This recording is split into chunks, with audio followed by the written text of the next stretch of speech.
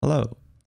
I recently received a comment on my latest video uh, from Aruna Mehta asking uh, if I could make a video uh, showing how to uh, how I made uh, the animations for the Cuba video. So I thought that I would just sit down and go through uh, my video making process a little bit.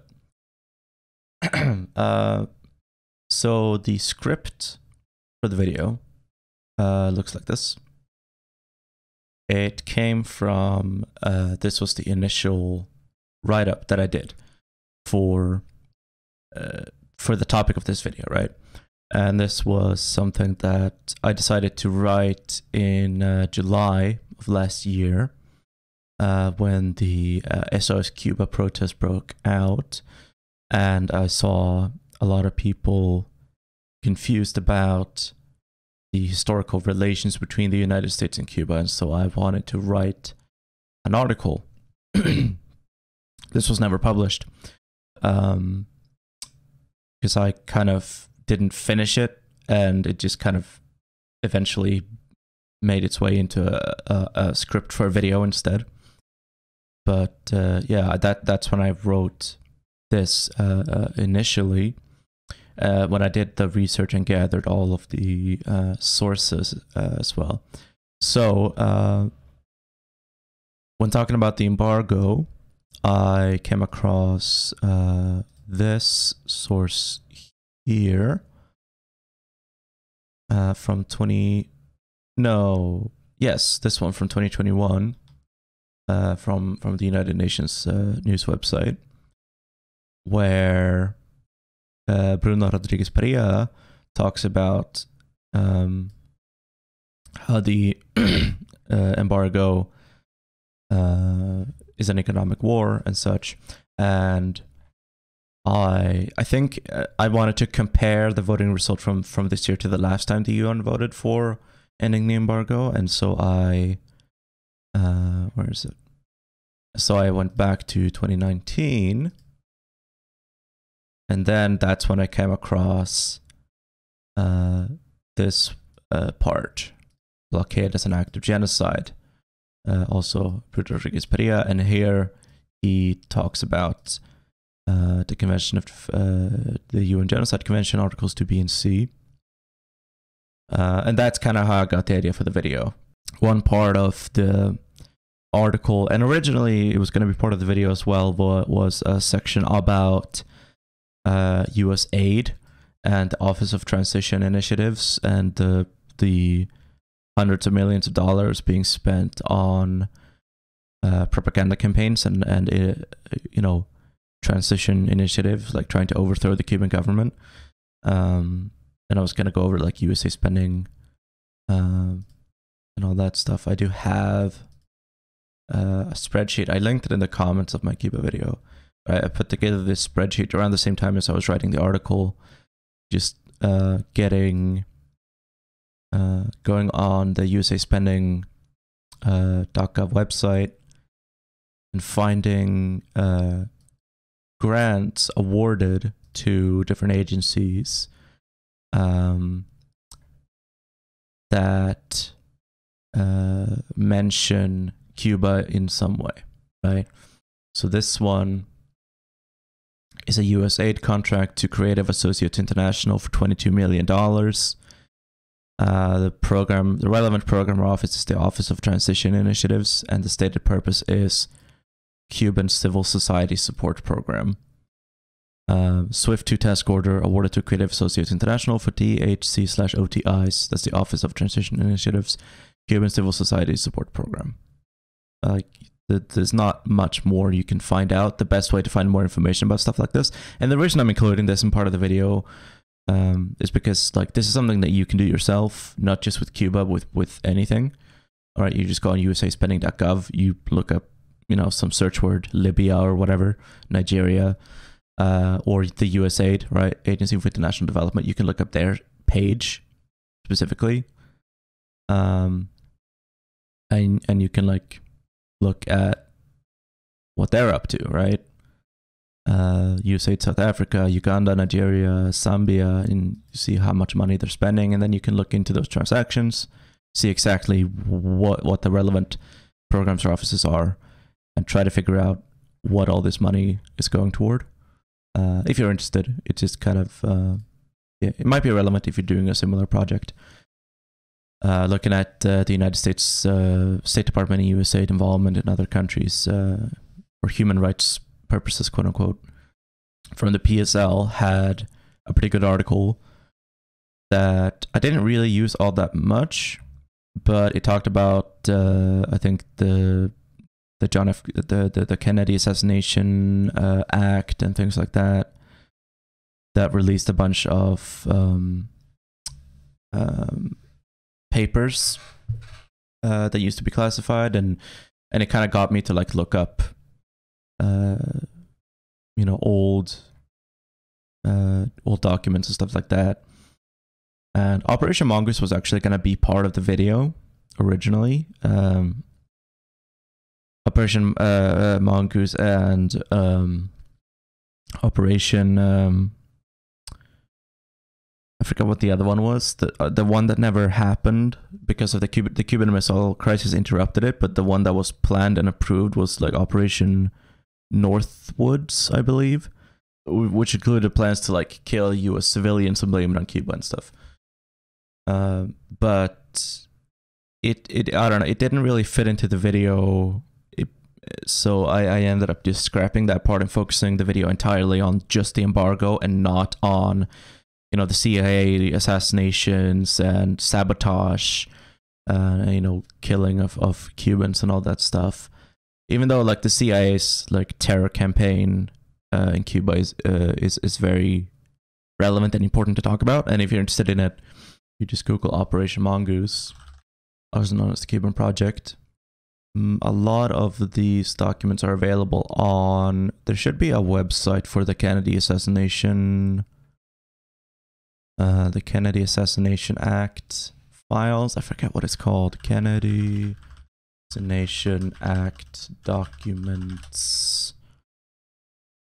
Archives.gov, research JFK, JFK assassination records. Yeah, there you can find a lot of them, uh, a lot of the documents that are mentioned here on the on the Wikipedia page. Uh, and then there's also uh, Operation Northwoods, which you can also look up if you're interested. Um, should have some of yeah, like this one. A memorandum about justifying a war uh, with a false flag operation in Cuba uh, in the National Archive uh, also unclassified after the Kennedy Assassination Act. Let's uh, move on to how I actually made the video itself. Because uh, basically, what I did, I, I wrote this article and then I just wrote made it into a script. Uh, added a note here about including this specific part of the documentary. Yeah. I used this one, Fidel the Untold Story upscaled by uh, Joseph Redman, uh, who I think DM'd me one day and told me like, "Hey, I know you like this documentary. I upscaled it using AI and uploaded it." So, uh, yeah, if you're gonna watch this documentary, the 720 uh, 720p upscale by Joseph Redman uh, is pretty good quality. Better, uh, like it's better than than the original, which is pretty low quality. Uh, this documentary it's from Bravo Films, 2001. It's just like a biographical documentary about Fidel Castro himself. Uh, but then in the middle, it go it does a very good.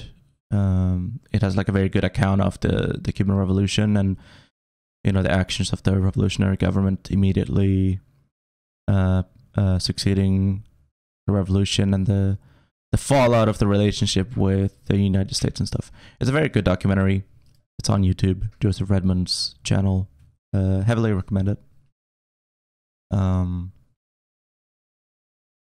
if you're interested in uh, Cuba and the Cuban Revolution and all. Uh, so then I recorded the script. I used Adobe Audition for that. Blah blah blah blah blah. Right now, I'm what I'm I'm recording the screen captured with uh, OBS, but uh, for recording scripts, I use uh, Adobe Audition. Blah blah blah blah blah. I use a effect as under here under effects, amplitude and compression and dynamics.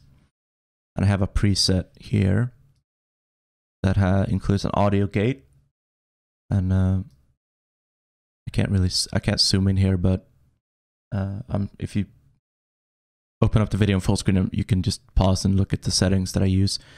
Uh, only audio gate and compressor. I don't use the expander or limiter. Don't go overboard on the compressor though, because it makes it sound like a radio program.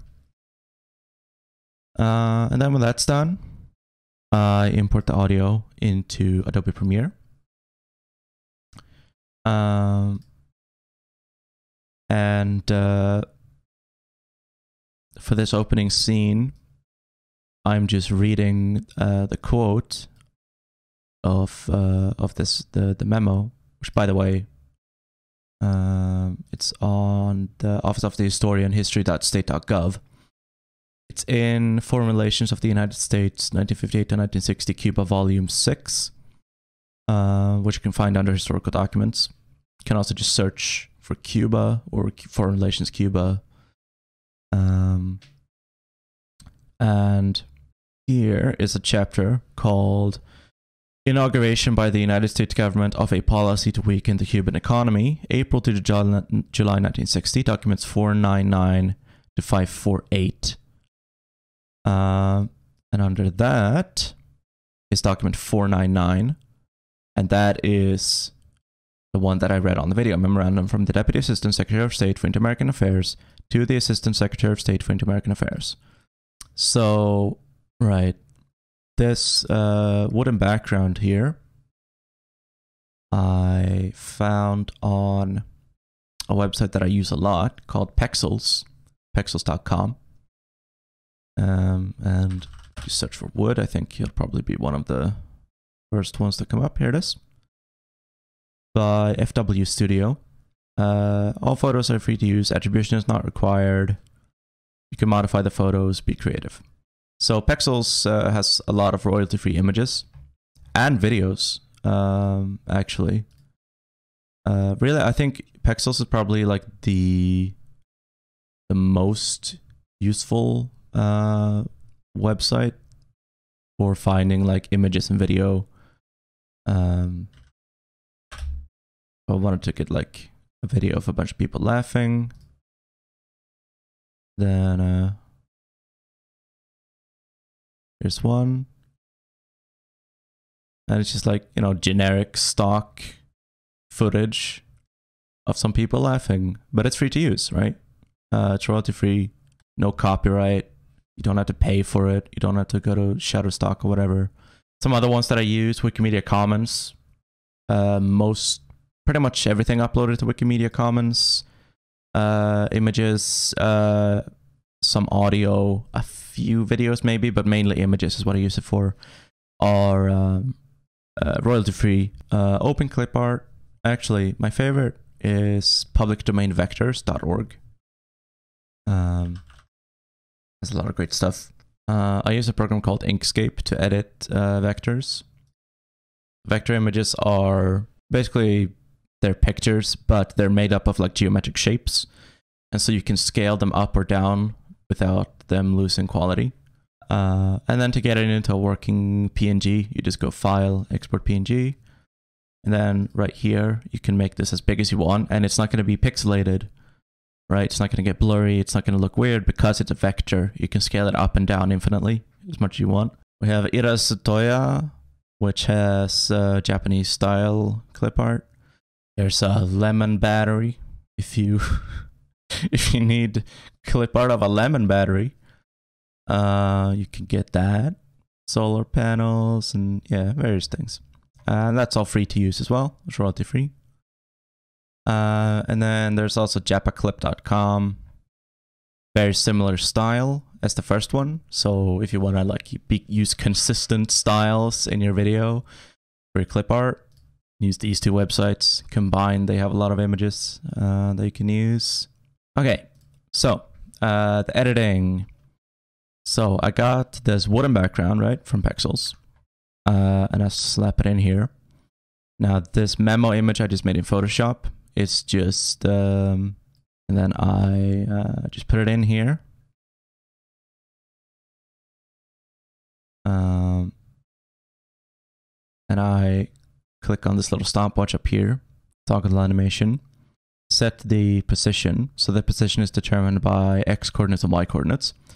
So on this, so on the timeline down here, and up here, you can see, um, this memo starts out in this position, 960, 1757, right?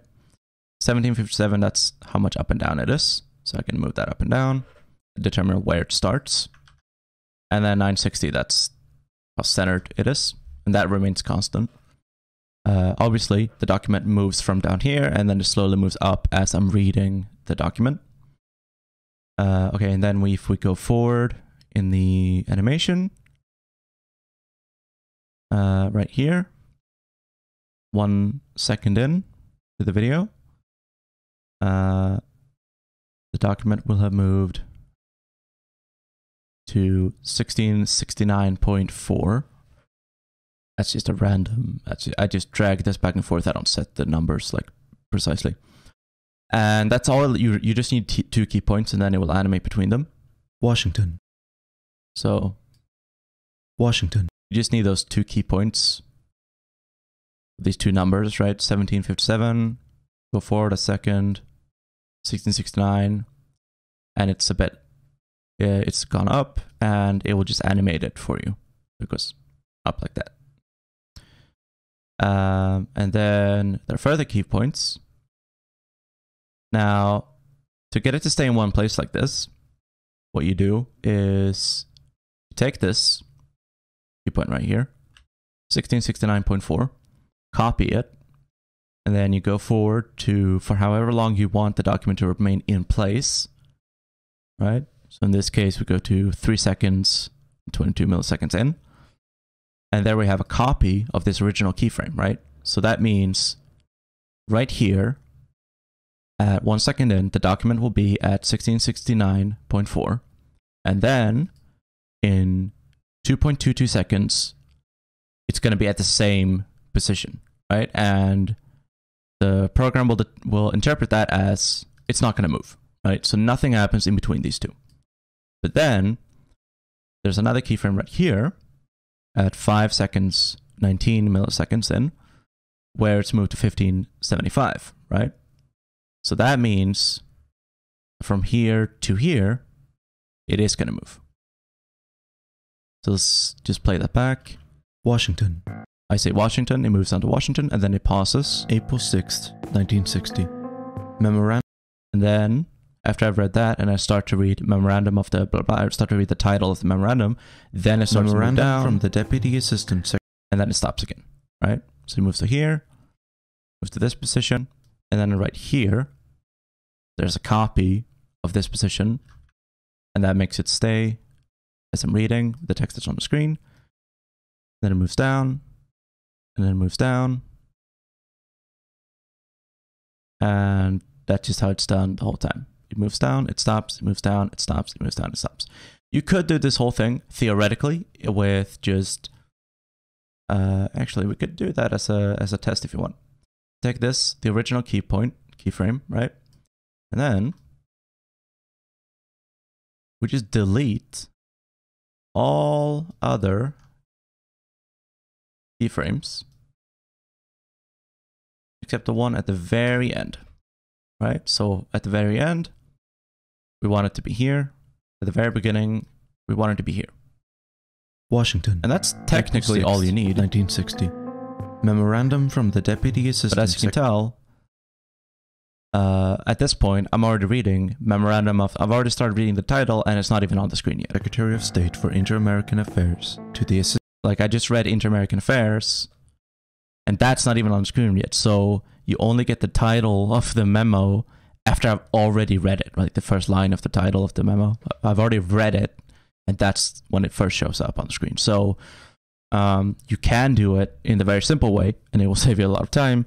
But it's going to be out of sync with the audio because when I'm reading the script, I'm starting and stopping and starting and stopping as I read the different segments. So yeah, that's how you do that. Uh, these ones, uh, the images popping up on screen, these ones I just took from Wikimedia Commons. Uh, if you go on the Wikipedia page, so Lester D. Mallory, for example, let's say I want to put up a picture of Lester D. Mallory. Lester D. Mallory. There he is. Here's an image. Click on more details. And we can see it is in the public domain. And you can get the original file, save that, you can get it in different, sizes, right? And this is uh, on on Wikipedia, on Wikimedia Commons, right? So that means uh, that it's in the public domain, usually, right? So you can see, if you see this logo right here, that means it's in the public domain. That means you can use it. Uh, so that's this image right here. And for this one, what I've animated is the opacity. Uh, so at the beginning, right here, click the stopwatch, toggle animation. It starts off at 0% opacity, meaning that it's completely transparent. And then this far into the video it's at 100% opacity. From here to here, it goes from 0 to 100. All right. And then it stays at 100. And then right here, I want it to fade out. So it goes from 100 to 0. Easy enough. And this text right here, Lester D. Mallory, that's just his name, written in the with the text graphic tool. And it just does the same thing. Uh, right here, opacity. And um, you can animate anything you want uh, in this exact same way with uh, with keyframes.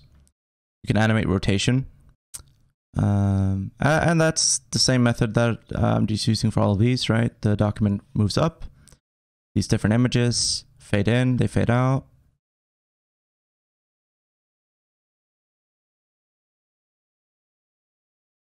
And um, right here, I'll reveal to you the secret of how uh, I'm doing the classroom. So here we have this first image. And that just looks like this. Uh, flagpole is its own thing. This is the screen that I pulled down at one point in the video. Um, this is what's on the blackboard. And that's also on the blackboard. And then up here, I got my character. I have the uh, you can't see it because it's uh, uh the background is back black, but this is the arm uh, that you can see right here. So this arm is separate, a separate part of the body. It's a separate image. Uh, I could do this all in like Flash or like uh, Adobe Animation, but I don't have I don't have the patience to learn how to do that. But I don't have the patience to learn how to do that, so I just don't. And then this image right here is just this stick. Uh, the desk, that's its own image. And then this is a part of the wall that goes above the the screen, right? So the projector screen is uh see if we remove this, you can see that this projector screen that uh, I pull. You see, I, like I pull it down at one point in the video, right? And it goes down like this. Well, it has to come down from somewhere so that its position is up here, and to cover that up is this image of uh, the background. Um, and then uh, yeah, you just have images on the screen, and the way that you get this uh, stick to move. Pretty simple. You just... Uh, so you have a rotation right here, negative 7 degrees.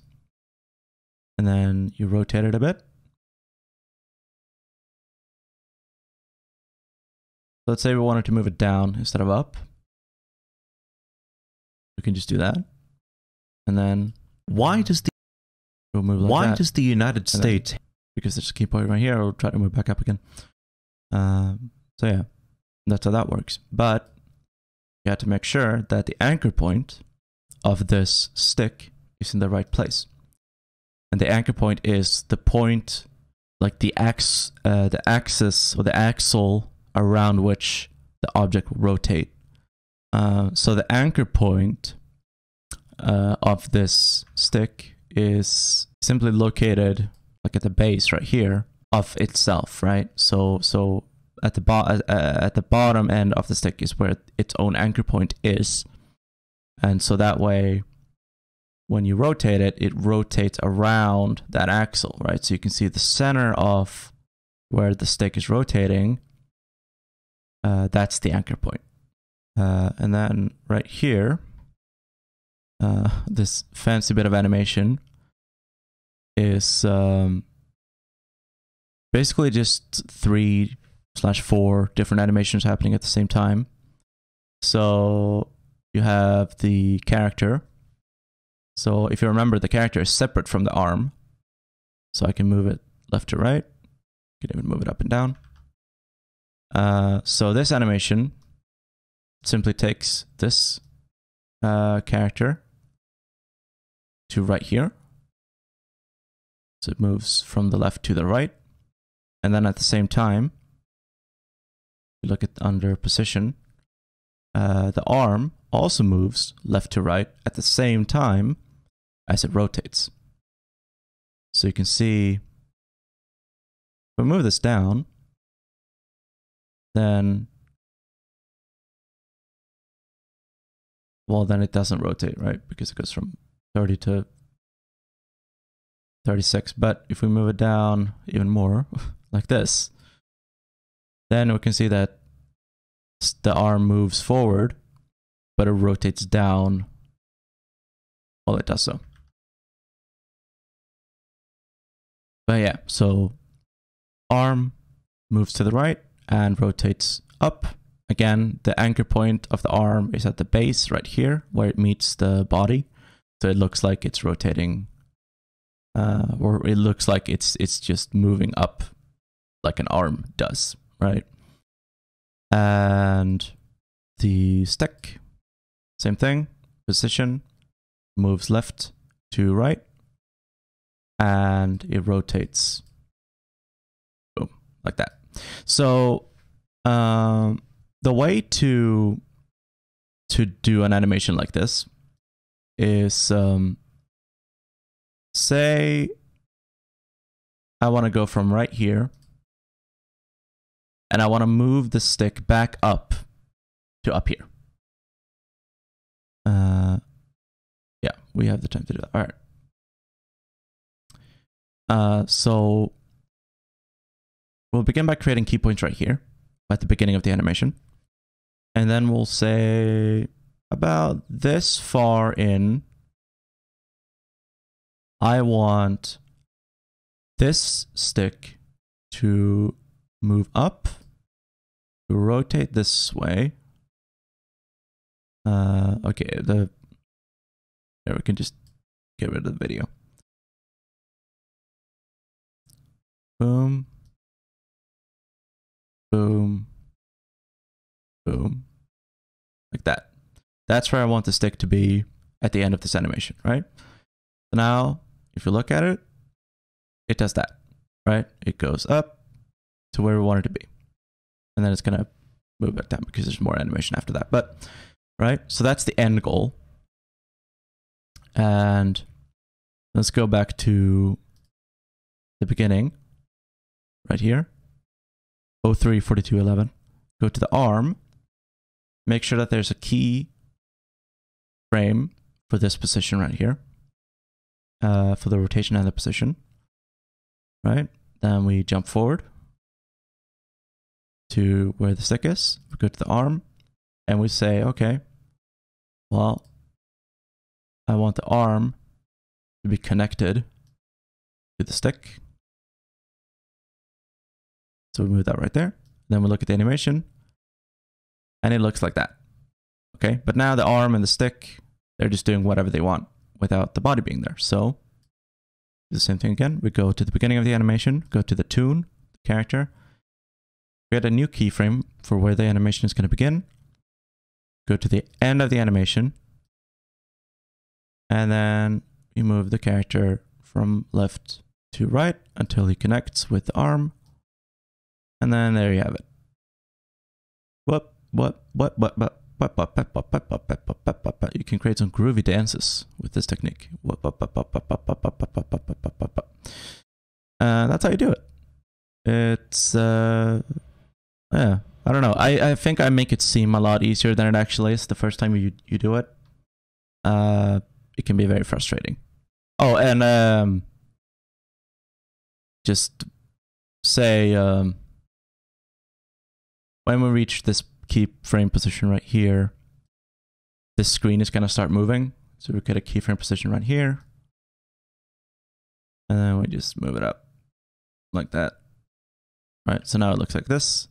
Oop. So it's like I move my arm up, stick, and then I like press a button or something. And then the screen oop, pops up like that. Oop. Now you can see the stick and the arm, they move a bit awkwardly. Um, you may have to like refine that, um, like um, throughout the animation, create like a few different keyframe, uh, uh, like a few other key points. Like, oh, okay, well, the arm, this point should be, you know, here, and the tune should actually be over here, right? So that makes the animation uh, work a little bit better. And then you can fine tune it as much as you want after that.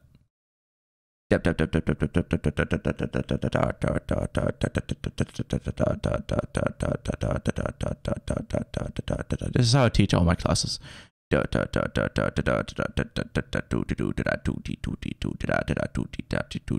It's also affected by the fact that there's key points afterwards, after this animation that we just created, that have nothing to do with the thing. Uh, then the the movie comes in, it fades in, and then it scales up. Uh, same principle, it just scales up, and then all these other things they fade out. So take the opacity from 100 back down to zero, and that does this. And then I cut the documentary a little bit. Some parts of it weren't as relevant, and then some parts uh, I wanted to put in a different order. I put in this part of the memorandum, reminding the viewer about the, what the memorandum said about the surge- su- uh, sugar legislation. the oil companies in Cuba. The United States retaliated for that by cutting off the Cuban sugar quota. right? So the documentary talks about cutting off the Cuban sugar quota. And so I remind the viewer, hey, you remember what that memo said about sugar legislation. Uh, so just put that in there. And that's just a mask with a feather around it. So this is the original image, right? Um, but it has a mask around it. It looks like this. So if I were to move this mask, you could actually see hiding behind is the original image. It's the whole thing, right? I just made a mask around it and it has a feather. So it looks, it has, uh, whatchamacallit? It looks, um, has like a gradient around the edge. And yeah, that one just scales up and fades in at the same time, and then it fades out. Easy. That I used. Here's a question mark. Pretty simple. Um, it goes. Doesn't move in the position at all. It just scales up, and it rotates. Goes from zero degrees, and then at the end of the animation, it's at one x zero. And what that means is that it's done one rotation since the beginning of the animation. So I can make this 5x0. And that means that in the same amount of time, it's going to rotate five times. Now look at the This change seems to only have been implemented on paper. Crazy. Or we could just make it not even 1x, just uh, like that. This Make it change seems to only have been implemented on paper. a little bit. Rotate until it gets to right there, and then stop. Or you know, you can make it 24x, and then This change seems to only have been implemented on paper. That's you know that's fun. Uh, that's about it. Some tips. Um, check under keyboard shortcuts. Uh, I've I've set um, ripple delete to shift Q. Um, ripple trim to previous edit uh, is on Q. Ripple trim next edit to playhead is on W. Um, and what like ripple editing, what that means is um, it allows you to. I wonder if I could find like a good example. Let's say here, for example. Uh, oh, uh, by the way, if you get the the razor tool and you want to cut something, hold Shift, and you'll cut through everything instead of just the one thing, right? So say if I cut right here, then I made a cut in memo, but nothing else. But if I hold Shift and I cut, then I've made a cut in everything. So it saves you some time. Uh, so say I want to just delete this. I I want to just take this and delete it. But now there's a big gap in this video. And in order for me to fix it, I would have to select everything on the timeline like this and then move it in like eh, like like like this and that and, and that's very annoying right? Instead uh, you can do what's called a ripple delete. So i just select what i want to delete and i do shift and q and that deletes it. Ripple deletes it. And that means that not only is it deleted but everything that follows is shifted uh, so that it's just an immediate uh, it's just completely removed and the video doesn't have a gap in it the last thing that i wanted to show you was the thumbnail. So for the thumbnail what i had was an outline of cuba, of cuba as a map and i had a bunch of different flags. So i had uh, i had a cuban flag american flag and the Spanish flag, historically accurate as well. And so I made uh, this one, American Cuba, and Spanish Cuba, and Cuban Cuba. So in Photoshop, let's say we want, for whatever reason, an Irish Cuba. So we got the flag of Ireland right here. Uh, I'll select the quick selection tool. Go to uh, the, the Cuban Cuba layer and just go over the whole image like this until you the whole screen is selected and then let go and it will select every pixel that's on this layer. I think there might be a quicker way to do that, but that's just how I do it. Uh, then uh, we can hide this layer actually. Go back down to the Ireland flag go up to select, click inverse, and what that does is it select everything except what's in your current selection, right? And then press delete, and we're left with an outline of Cuba with the colors of the Irish flag. Then right click it, go to blending options, and under stroke, I have a size 4 black stroke position outside. Uh, you can experiment with that can make it a bit smaller. Yeah there you go. That's how I made that. Uh, yeah. That's it. Thank you for watching. And goodbye